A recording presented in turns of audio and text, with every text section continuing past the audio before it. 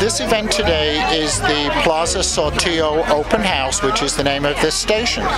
We are the first station away from the downtown area, and this gives the local community an opportunity to see what their service is going to be like.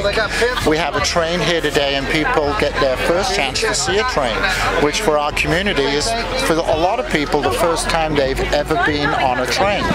And we're demonstrating how to buy a ticket for folks who are a little nervous about how they would have a ticket to get on the train. We're going to demonstrate that to them both in English and in Spanish.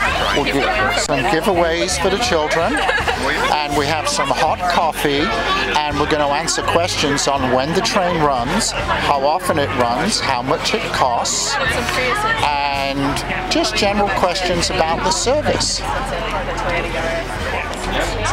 March 30th, It's going to be running all the way to downtown. and back up to Leander. and back up to Leander in 56 minutes. Uh-huh. And what does it cost for the full ride?